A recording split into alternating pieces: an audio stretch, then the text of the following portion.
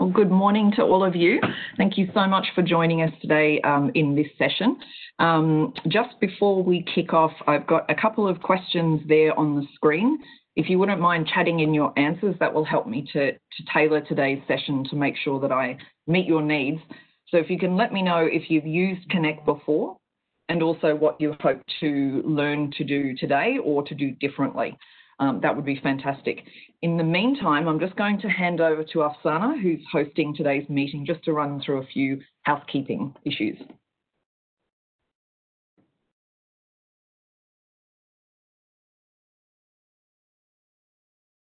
You're still on mute, Afsana.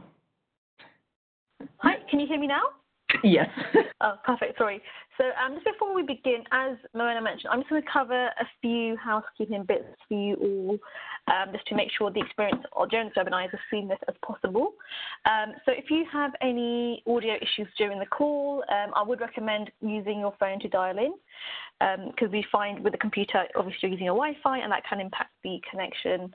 Um, and anyone that might be using a high bandwidth kind of platform in your home or on the same internet, that could also impact your connection as well. However, if you do miss anything because of connectivity issues or just anything in general, um, we are recording this session and we will be providing the recording after via email within a week um, to you all as well. And there will be a Q&A opportunity at the end. And finally, uh, we just have something to cover off in terms of engagement. So we can't unfortunately put your microphones on just because of the way the webinar has been set up. However, you can use the Q&A and the chat box on the right-hand side, which I can see quite a few have you have already started using, um, just to ask any questions, share your comments, um, just generally any technical issues you may have as well. You can drop me a message in there as well. Um, and that's all from me, so I'll hand back over to Morwenna. Thank you so much. I'm just going to share my um, deck with you now. Okay. Mm. Okay, well, thank you very much to those of you who've popped your answer in the chat uh, there for me uh, so I can see um, whether you've used Connect and, and what you would like to learn. The first thing that I want to do today is just say a huge thank you for making time to join the session. I know this is very close to back to school. Um, it's a very stressful time as many of us are having to change the way that we teach um, and you know incorporate new systems, new technologies, um, and deal with students who may be suffering you know a fair bit of anxiety around learning online or having been absent from study for a while. So really appreciate your time. I hope that this session will be useful for you. I am going to start with some, uh, some PowerPoints and I'm just going to run through some of the effective learning design tips and tricks that we can employ. Um, I'm focusing on Connect, but I will be sharing with you tips um, that you can uh, employ using your VLE or LMS, so Blackboard Moodle, that kind of thing to really uh, create that great learning experience for your students. So please um, chat any questions that you have along the way. Afsana is uh, monitoring the chat for me because I'm not very good at multitasking. Uh, so um, she will she will let me know um, if there's anything, um, and I will stop at the end for Q&A. So a little bit of uh, PowerPoint stuff at the beginning, then we might go live into a Connect course, um, time permitting. And so these are really um, some basic design tips. Some of them you may know already. Some may be useful for you. I certainly hope that they're useful. And they're through my experience working um, and my background in instructional design um, but also working with instructors across the world to really implement successfully. So we've learnt a lot along the 10 years that we've had Connect, um, and, and some of these tips that I'm sharing with you are absolute best practices from other instructors that I've worked with as well. So just to quickly run through what we're going to do today, you will have seen this on the invite we want to help you to design a course that meets your learning outcomes, that engages students and encourages effective learning. I want to give you tips to engage students throughout the course from day one. uh, because that's the most important time to try and get them online. How we can go about translating a face-to-face course into a blended online or flipped course. How uh, we can reinforce the key concepts when you're not with them all the time. Knowing how much content to set for effective learning is a, is a key one that I want to spend a little bit of time on. I'm going to go through a couple of active learning strategies as well in case you're looking for ways to prevent Zoom fatigue and also to increase the, the new term that I've learned and I'm in love with it, um, and also to increase engagement with your students. And some strategies, extraneous cognitive load for students as well. So I will spend just a little bit of time looking at the um, the adaptive component in Connect as well, which is called our SmartBook. So uh, hopefully most of you have been introduced to that. Um, and there I just want to show you how that component itself is already working to increase uh, effective learning. Uh, we're going to look at those design basics, which are structure, support, timing, and time on task, and also the need for feedback. So before you start, these are a couple of tips that um, that uh, either come from me or from instructors that I've worked with. But um, what's really important is to try and move the parts of your course that you found less effective into the online environment. So if something works very successfully for you face to face and you're still able to do that through maybe Zoom breakout rooms or um, discussion boards or any kind of experience like that, keep those. So you want to try and move anything that was less effective um, into the online space so that you can um, see if you can tweak that and get a better outcome for your student. Communication is absolutely key, especially if you're using Connect for the first time. Giving, and just in this environment in general, you would know this, give your students a roadmap of the changes and the way that you're going to teach the course using the online technology. Ideally, if it's your first time, let them know that it's your first time using the technology. We often find that students can be a little more forgiving if they know that as well. Um, and I know one of the biggest fears is, you know, what if something goes wrong?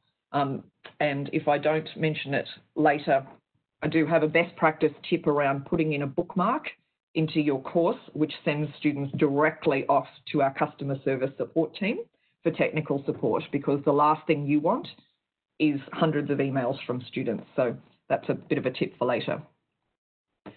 Starting simple. There are a world of resources available in Connect, um, particularly in some of the uh, science disciplines. I like to say it's kind of like birthday morning. You wake up surrounded by gifts um, starting simple is the best advice I can give you.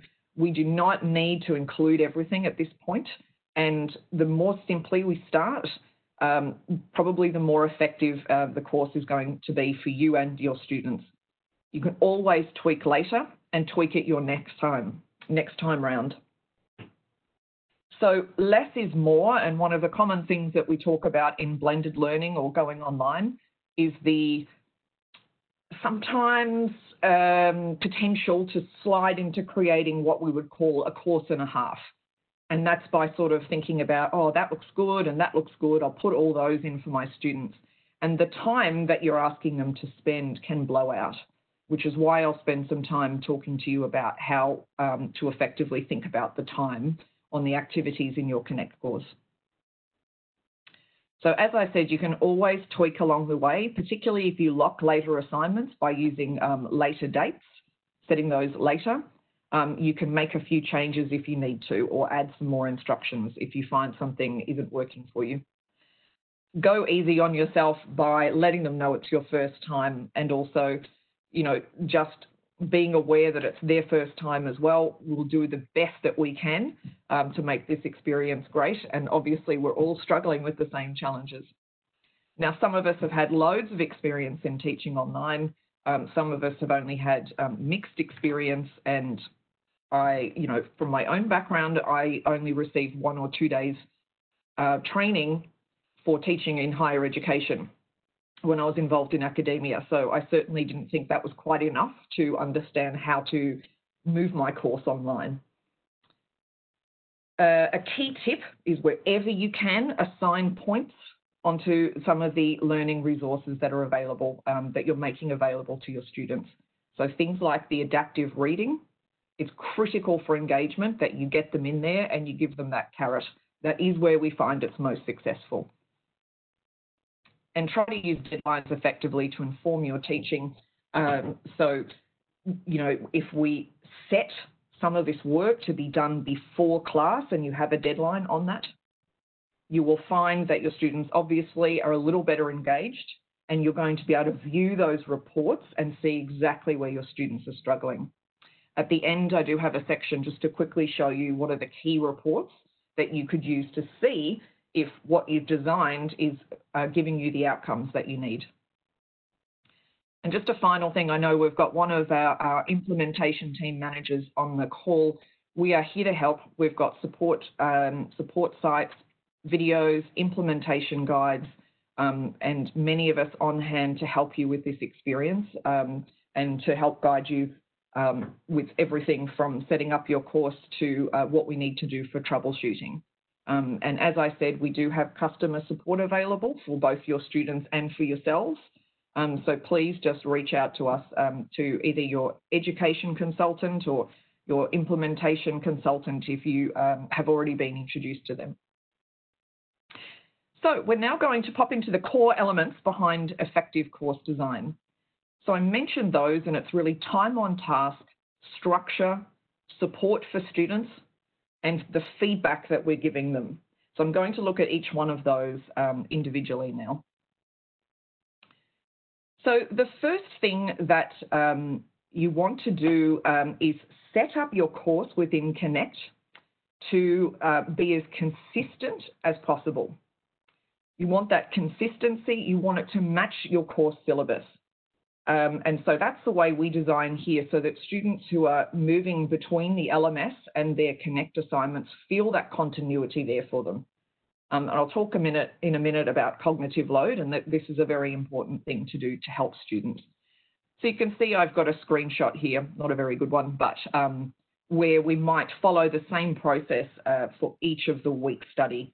So your pre-class study, which is the adaptive um, study in SmartBook, perhaps um, a different asset to help your students practice what they've been learning.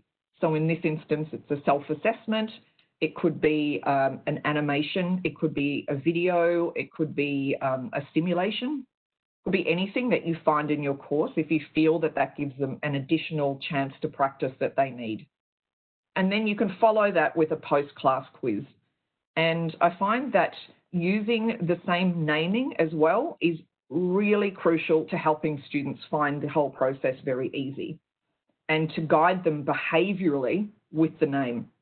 So if we want them to do the reading and that practice before class, calling it pre-class study, pre-session study, whatever you would like, um, and then a post-class quiz helps them to understand when they should be practicing those things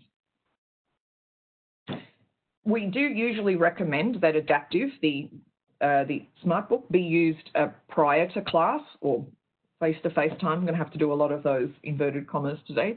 Um, because it helps students to cover the uh, lower level blooms, things like understanding and remembering.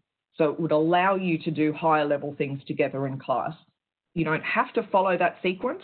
Some people use it um, in other ways, but that is the key way that we see people using that.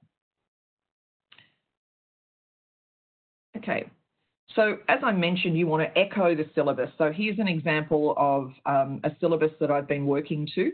The only difference there is that I always include a session zero or a week zero. And that's where we ask students to start. And that's your key place to get them into the resources and to put some of their help documents. So in there, I would always include a video of how to use usually SmartBook or the Connect platform. If you can't find one of those, please reach out to either your education consultant or your implementation consultant. They're only three or four minutes. Ideally, If you show it in class, then you don't even need to make them do it. Um, but a great thing to do there, you're probably thinking of that already, is uh, you know getting students to um, start getting themselves involved in the course. So within your VLE or LMS, you might be doing things like introduce yourself on the discussion board or tell us a little bit about something. And it's just getting the students in there and familiarising them with the, with the assets. So I usually put some information in there as well in the session zero about how students can use the app to study offline because there are a variety of things that can be used um, on the phone. Um, you might even want to give them some guidance on where to download the, the tablet app um, if you feel like they're going to be studying um, on a tablet. So you could really put anything in there. I always recommend, of course, that putting any other help documents in both places, your LMS and Connect, just in case there's a problem with access, although we would hope there would not be. So um, in some of your uh, Connect courses, there is also an option to add something, um, a module called Preparing for an Online Course. Um, and if you do have that option, that's a fantastic quick thing you can get them to do, which really guides them on how to behave and what to do to be a successful online learner. So cognitive load theory is something I just want to touch on for a second. Um, there's two types, well, there's three, but we'll concentrate on two. Intrinsic cognitive load is really about the difficulty of the material or the information itself. So that's about what's in your course, which you have control over. We certainly don't have control over, um, but that might be the difficulty of the material. Extrinsic cognitive load is what I want to focus on for course design because that's the load, the working memory, um, that is generated by how the material is presented. So you can see I've just highlighted things like make sure that your uh, folder structure in Connect, and you want a folder structure, mirrors your course syllabus. Try to have the same types of activities with the same naming convention in each week because this reduces the cognitive load, uh, the extraneous, um, extrinsic, sorry, I don't even know what I'm talking about today. I need more coffee.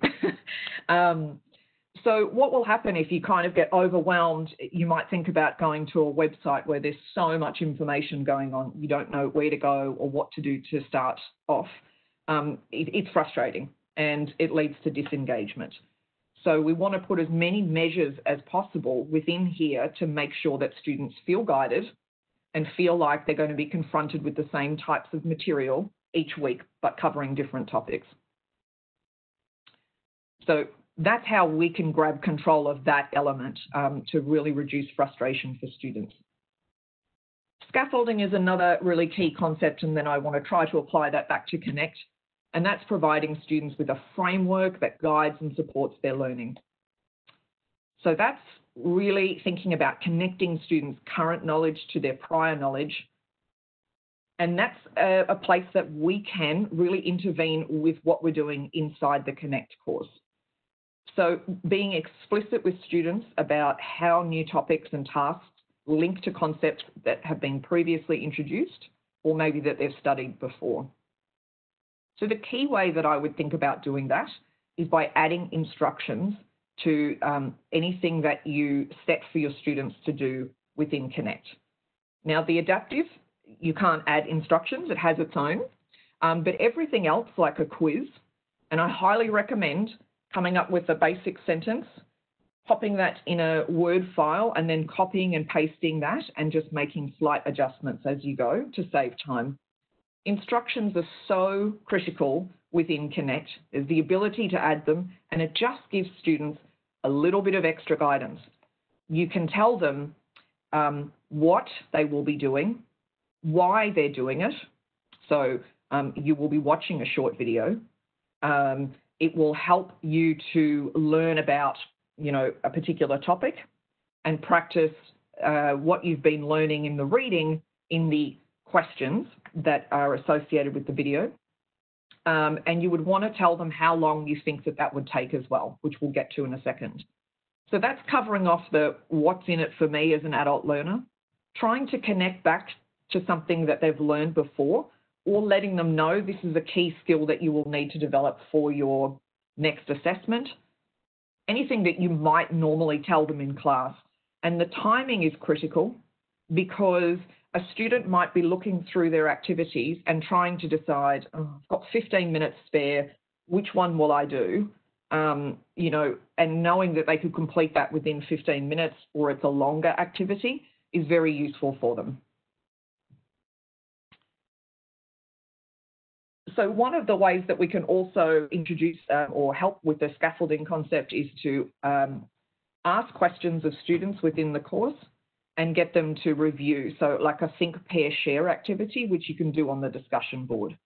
So I would highly recommend you can use any of the end of chapter questions, material in your instructor resource manual to come up with things that you might uh, want to ask students to do, or you might have your own, and then getting them to do those within that uh, online face-to-face environment is a great way of helping them to start connecting their learning. You can also model questions and answers and then ask the student to do it for themselves. And there are two ways that you can do that within Connect if you can't do it live. The first one, um, and this would be available in more quantitative courses uh, like finance, um, is to use, if they're available, something called guided examples, which will walk you through or show you how to complete something before you need to do it yourself. So that's a great way of doing that. Additionally, within all of our Connect products, there is um, a space on the bottom right that says uh, recorded lectures, I think, and you can use our inbuilt free technology or your own to make a short video to show the students how you would do something and then set that for students to watch. So it, it really doesn't matter whether you use Tegrity or your own software. It's just about adding in um, your voice for a start, and then also um, being able to model something that maybe you're not wanting to do in a two hour lecture. Or maybe you're hoping to shorten the lecture and put more things online. So that's another key way.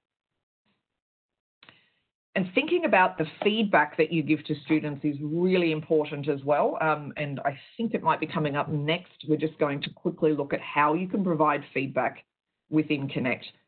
So giving a lot of feedback early, as you would know, and hints, things like check my work, and that's very often available um, as a setting I can show you, um, where the students can actually check their work before they submit it.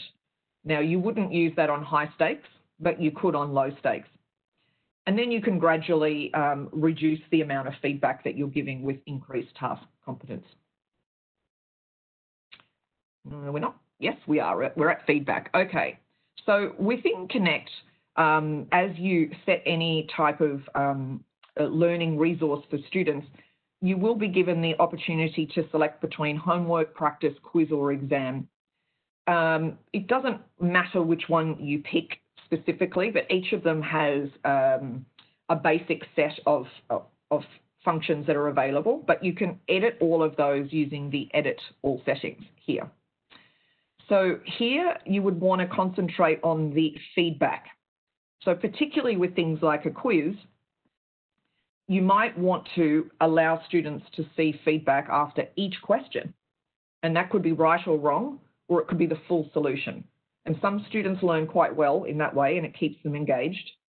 Um, it's always useful to provide them with full feedback the first time they do a quiz in terms of the immediacy of the feedback for their own learning experience. You can also delay that feedback. It depends on, on what you want to do and how you're using it. Um, and I also would recommend, if you can, setting quizzes uh, with unlimited attempts so that students can practice that again and again to, to build up their, their, um, their learning and their understanding. So you can change anything here in terms of um, scrambling the questions, but I did want to draw your attention to that feedback, number of different options there, um, and just thinking about how that will help a student who you've got less contact with.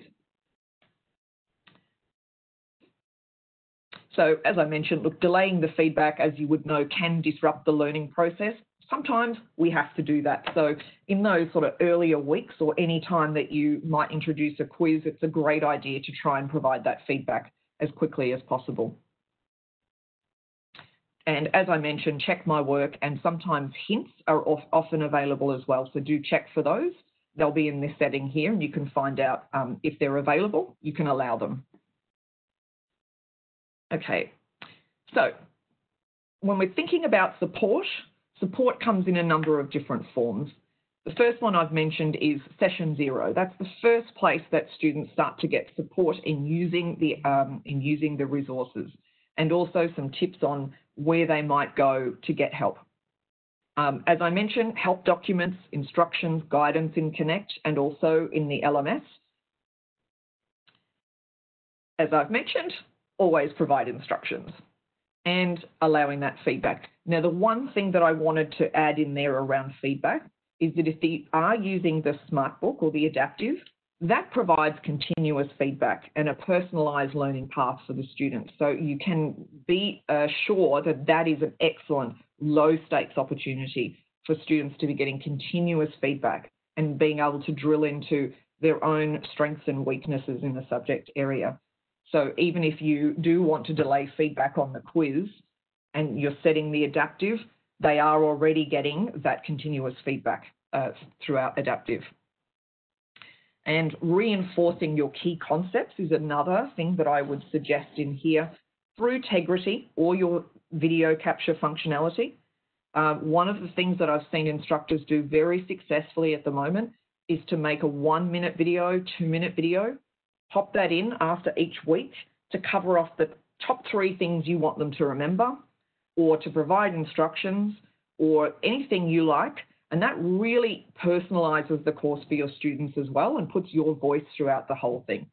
And it can help them to really focus in on, on what you're saying, particularly as we find sometimes students do not come to our classes. So we're moving on now to time on task. Um, and this is an important thing because I mentioned uh, it can be easy to accidentally make a course and a half. And to be fair, many of the resources inside Connect don't have a time um, calculation on them. So I wanted to help you to do that. Um, we always want to provide students with an approximate time in the instructions that we write. Approximate is good, you get less um, held to that one. So a good time range is helpful for students. Um, I don't find it's great if you put that it's you know extremely long, if it isn't. Um, and this is one of the things that's quite different. I think in an ordinary course outline, we don't normally tell students how long each activity would take. Um, and this is kind of one of the key elements about being online. So as a general guide, we might say a multiple choice takes between one and two minutes to complete, depending on how difficult it is within Connect. Um, and please, if I don't show this afterwards, can, uh, just contact your McGraw-Hill representative to learn more about this one. Um, you can easily filter your multiple choice questions or any of your questions to see, uh, sometimes they have a level of difficulty, and if not, they will almost always have Bloom's levels. So if you select your lower level Bloom's levels or easy, medium uh, difficulty with the multiple choice, they're more likely to take that shorter amount of time. Worksheet questions, which you'll find in um, finance, accounting, um, a few of the business type subjects, will take a little longer because there are multiple parts of the questions. So they are usually between five and 10 minutes. And similarly with video questions, if there's a video and a few questions, have a quick look at how long the video runs for. They're normally quite short, usually three to four minutes. If they've got a couple of multiple choice, you might say the whole thing is seven to eight minutes. But a very simple guide for you is however long it takes you to answer something, you multiply that by three, and that's how long it may take a student to complete. With adaptive study, so our smart book, you do also have the opportunity of using this slider bar on the right-hand side when you assign this content. Um, what is really important, and I wanted to just call this out in case you don't know, is that time on the bar does not calculate the reading time of a student. We wouldn't typically try and calculate how long it takes a student to read something. You know, we've got general guidelines around six to seven minutes per page. Uh, you know, rough number of pages per chapter minus diagrams. Doesn't matter. Students read at their own pace, and that might be um, a lot quicker or a lot slower than we think. So this slider bar is only based around how long they should spend answering the questions that will appear. So I tend to keep that on the lower level. That does not mean, even if um, when you first come in it says two hours and 54 minutes of questions, that does not mean it's a more complicated chapter or that you should set two hours and 54 minutes. I think most students would um, be a little shocked if they saw that flashing up for them to do. You can keep that a lot lower because it allows the students to engage in, in the, um, the adaptive questioning and leave before they're getting too frustrated. And all that happens is we just ask less questions about each of the key learning objectives. So if you were to assign it for the full length of time, you might get 100 questions per learning outcome. So my advice is set it a little lower um, because you've got to keep in mind that they do also have to do the reading as well. So with those instructions, we've mentioned those already. Um, just again, and um, I've probably put this down twice, we'll share these slides as well, but knowing what the activity is, how will it help me as a student, how long is it going to take, and anything else that is really key. In some of the quantitative subjects, we have algorithmic questions, which change variable each time. I'm surprised to tell you that I have dealt with several cohorts of students who felt that that was something wrong with the system. So I now include in my instructions um, the following questions will change variables each time you attempt the question. This is to help you to um, learn how to effectively complete the activity. Um, that's, I never thought that I would say that you have to do that, and maybe that was just a few cohorts. Um, but little pieces of information like how many attempts do you have on this quiz? Is it limited um, to only one attempt? Do you have a time limit? And also, will you receive feedback after each question at the end of the quiz? Those are very useful uh, things for students and stop them asking some of the questions. So I'm going to just spend a couple minutes now on SmartBook, just looking at how that creates effective learning. And I think we're going to uh, go straight into a couple of key reports that you can use and then we're going to go live into Connect with some time for questions. So SmartBook, and I've just put that up on the screen for you, is that combination of highlighted reading and questions, and those questions really are designed to appear at the time when students have been reading for the right amount of time that they need to start practicing what they've just learned so that they don't forget it when students come in, they can either decide that they want to answer questions or read. A top tip for you, statistically, um, our research shows that students who start with questions and not the reading take far longer to complete the activity than those who read first, as you would imagine. Either way, they will get pushed backwards and forwards between the reading and the questions because it is actually built on quite a few uh, seminal theories from learning science. I'm not going to go into all of them now. It's basically built on the idea of memory decay. So at a certain time, you are going to start to forget what you've learned. So the system tries to intervene there and refresh that knowledge with you again so that you're less likely to forget it. It asks you to keep practicing things in the form of deliberate practice, which is shown to be far more effective. Then it does things like put together information in certain ways, so um, spaced practice, so that again, that supports long-term um, memory. And the metacognitive theory, which is inbuilt in there too, helps students to understand um, how much of the information they know and what they don't know. And that allows them to spend their time more effectively on study. If they are able to see these are the areas, not only that, the system specifically asks questions that will guide students um, to keep studying the things that they need to study the most, which is, you know, not going to be the same as the student next to them. Okay, so hopefully that made sense, my um, whip through. oh, I do have active learning strategies first. So active learning, as we know, is um, involving students in doing things and thinking about what they're doing. And so this is a useful framework to consider how students encounter new information, engage with the information and ideas, and then reflect on their learning. So I've got a bit of a continuum there, um, which goes all the way through into, you know, the most active learning and more passive learning. We don't want to um, make this incredibly difficult. I just want to show you a couple of tips to engage your students uh, with some more active learning um, capabilities with, within Connect and also your VLE.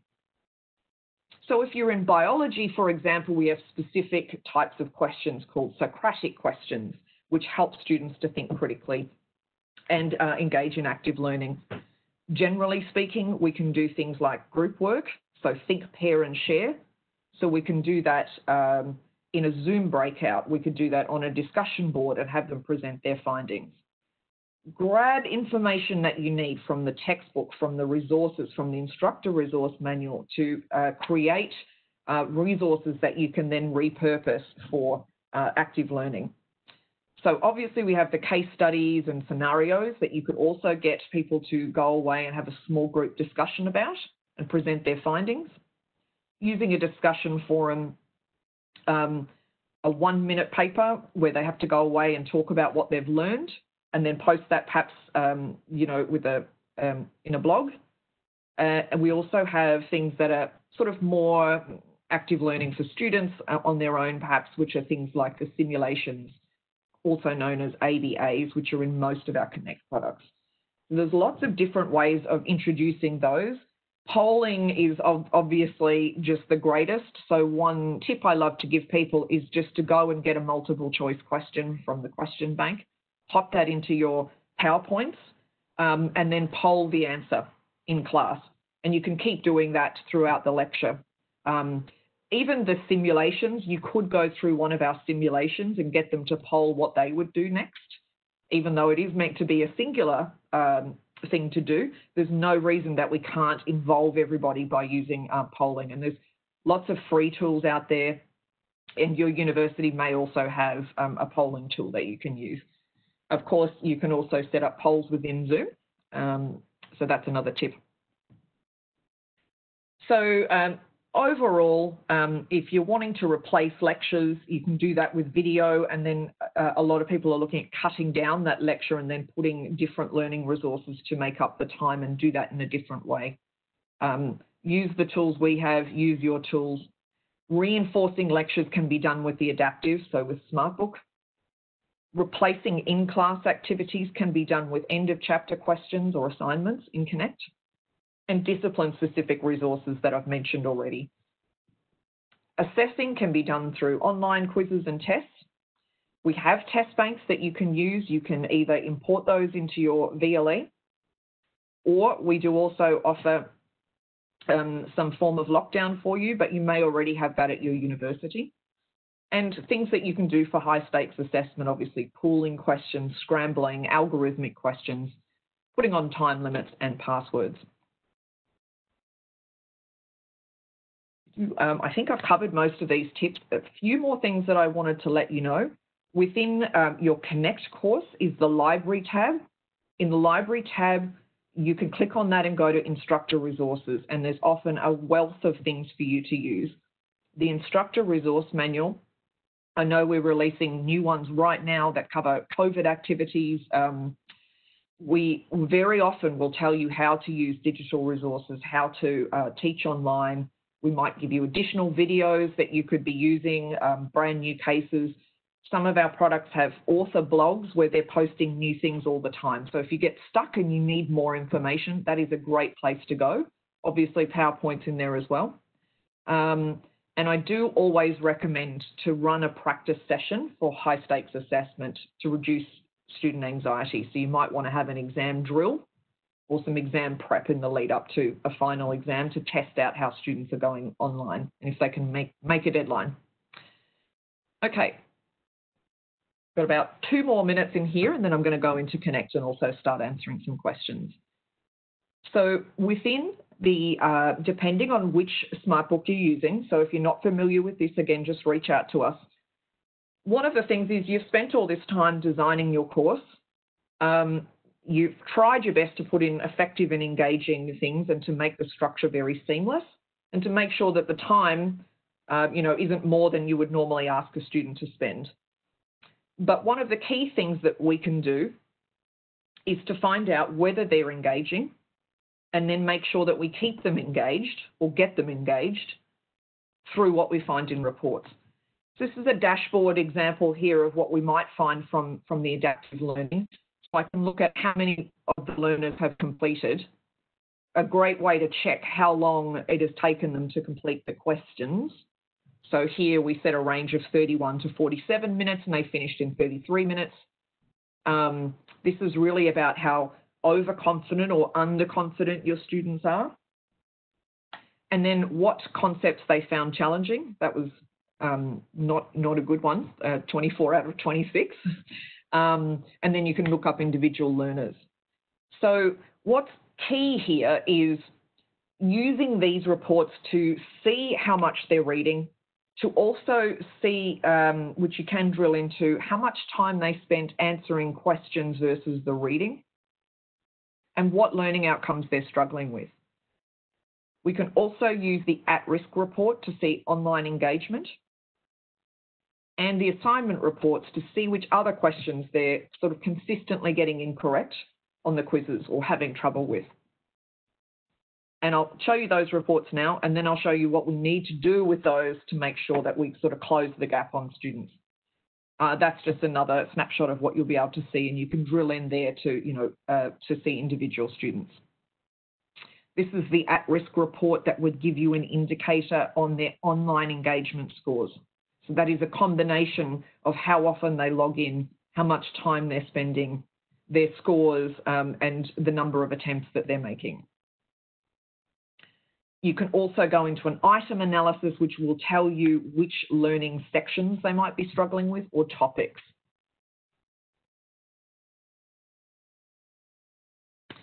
But the key thing is to let students know that you're looking at this information. So if you regularly refer to the missed questions or the difficult learning outcomes in class, they will know that there is a connection between what they're doing online and what you're teaching in class.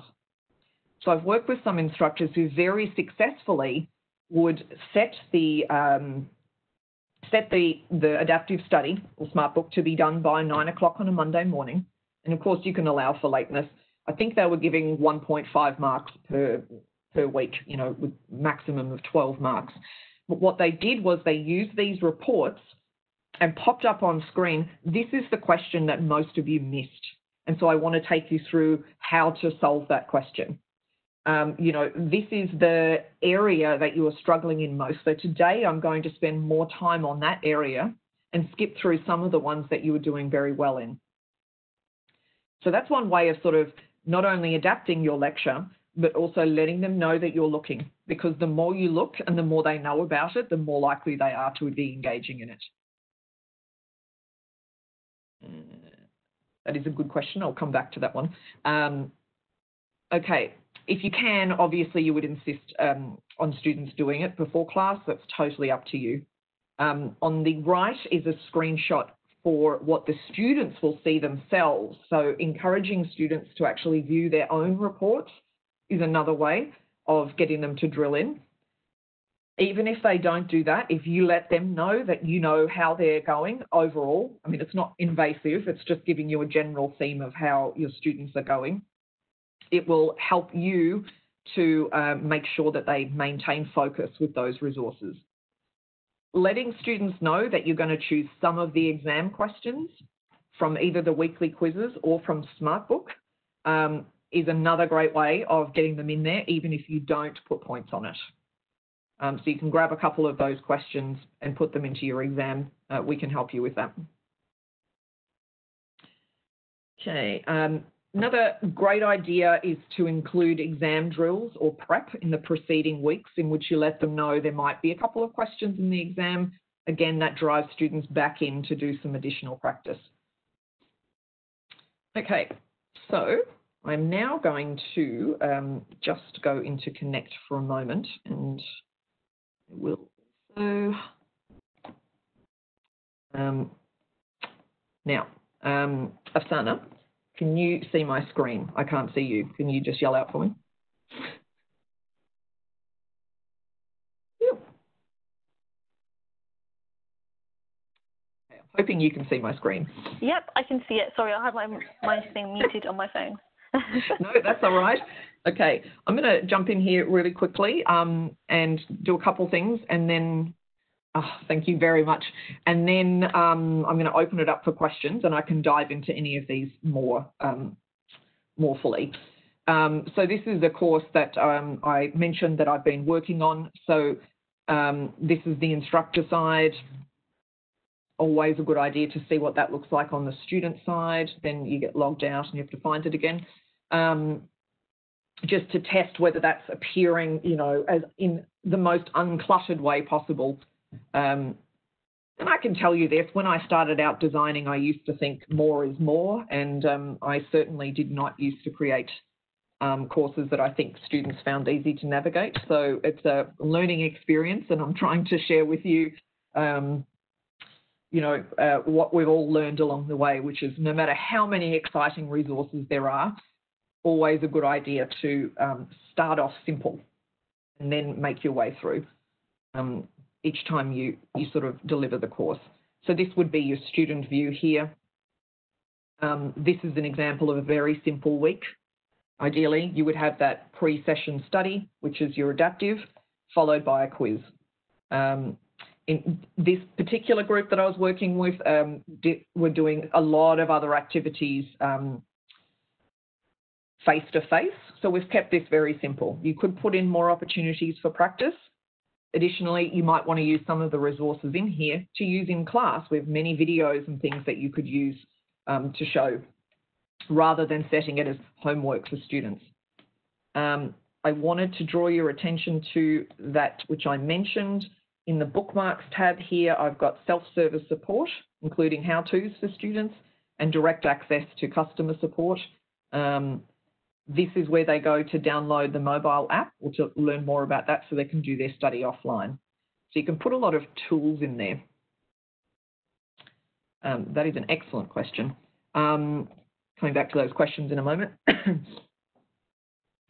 so um, at the moment, I appear to only have one thing under this session zero, but normally I would add a couple of things, excuse me, such as how to access the, the app. um, even if they could find the instructions down below, always a good idea to give them more.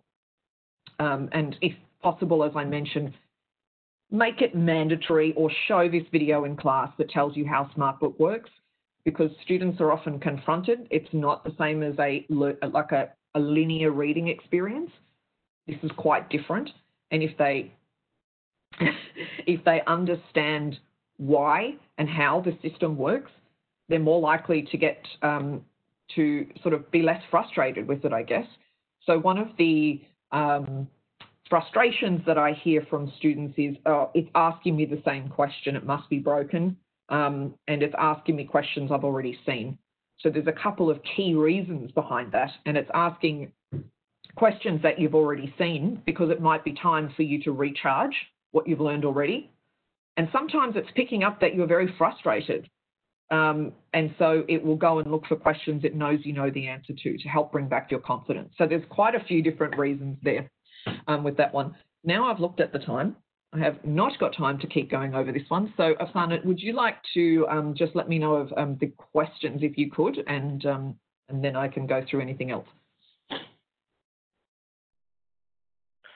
Sure. Um, so we have how much detail can you get on items students are having problems with? Is it based on chapters, concepts, or even more detailed items? Yes, great question. So the, the reporting that we have can uh, generally goes at the um, so it, it's at an assignment level. So it might be giving you information based on a particular chapter. So it will give you um, performance according to the section of the chapter, if you want to include that. Performance according to the learning objective. um, if it's a quiz, it's going to show you the questions, the exact questions and how they performed. Um, if you've had more than one attempt, you can see every attempt that they've made. You could go a little further. You can also drill down and use different filters like the Bloom's levels. So you could see how they were performing to those. And then within many products, we do have different um, industry standards that you could measure things against as well, sort of um, like ABET for engineering. Um, so you can go right down in that item analysis, and there's a few different things um, that you can see there. Within the adaptive, you can drill down to the exact learning outcomes that they're struggling with, the questions that they miss the most often, or um, the most challenging of those um, concepts. So quite a lot of um, ability to drill down and, and really hone in on where are they struggling, what should I, you know, mention in the next face-to-face. Um, brilliant. We've got another one. How about regular readings? Does it make sense to add that alongside SmartBook readings or is it redundant?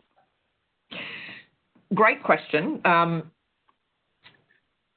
it is redundant, um, probably, to have both um, because it is the same material, it's just presented in a different way. Um, it depends on how you want to teach the course. What I like to let students know is that if they just come across here, they can click on the ebook and they can read that linear ebook if they want to do that. It's there, also available on their phone, it's downloadable and it's offline on your phone. So I like to let them know because sometimes people just don't like the concept. More often, they don't like the concept if we explain it in week one um, and then they forget. I find it's good to revisit, so call in your consultant to help you um, revisit that in about week three. You know, why? Why are we using this? What does it do for me? And I think um, if they can get across that core concept that this is truly personalised, it's only for them, and it's only going to show them um, the content that they need to be looking at, well, that's what they think. They do get encouraged to read more, I can assure you, but that it's going to help them to remember and commit this stuff to memory, they probably get into it a little more. So it's there it's probably not worth assigning both, I would say. Um, but do let them know if they need that experience of, you know, highlighting and making notes and, and things like that. They're more than welcome. Um, I believe, I don't want to say that, but almost all of our products offer you both options. Next. Um, do we have any more questions coming through? I can't see any on my end. Okay, it's all right. Give well, oh, hang on, I think we might have another one. Um, so someone's asking, how can I create a collaborative area for project completion in an online vocational study session? Good question. Um, so it's trying to think if it would be useful if I knew the subject area. Um, depending on it, many of our subject areas do provide things that would help for that. Um, but in many cases, it's where I would connect, connect with your LMS and use the functionalities um, between Zoom in this instance and your LMS. So things like the discussion board, getting people to post stuff up and peer review, um, setting up Zoom breakouts so that they can do that work themselves or setting them a task that they have to come back um, having, you know, reviewed each other or collaborate on something. Um, the Zoom breakout rooms can allow you to do presentations as well. Um, they can screen share. Of course, it depends on the size of your class, um, whether or not that's possible. Um, there is the capacity within Connect with that lecture capture that I told you about. They can actually upload their own videos if you want to, but you may want to host that sort of within the LMS. So I always think about these being very complementary tools. Um, you know, Connect has the curated resources and, you know, we've spent money and time on product development. We've got reports that take you a little further, but your key um, functionality for some things is very much in the LMS, and together they work well. So grabbing anything you can think of out of here to create um, an in-class or post-class activity is also a good idea. I hope that's answered your question, Afsana. Do we have a subject area in case I can help? Um, no, we don't. Okay. I think it was just a generic um, one. Um, Yeah. I can't see any more questions coming in. Wow, I finished on time almost. I do hope that that was helpful for you. Um, and, uh, you know, if you have any questions, we're absolutely here to support you. We know it's a tricky time. Um, please just reach out and ask questions. We uh, greatly, greatly appreciate your time today. And um, yes, it's been great to have your questions. Thank you. Thank you, Morwenna. That was really great. Um, as mentioned, so we will be obviously sending an email out to you after with the recording of this session, along with a certificate within a week um, of today. Um, thank you for your time. Do stay connected. Connect with us on our social channels on LinkedIn, Twitter, and Facebook. And of course, if you have any questions, um, you're more than welcome to drop us an email as well and get in touch directly. Thank you. Thank you so much. Have a great day.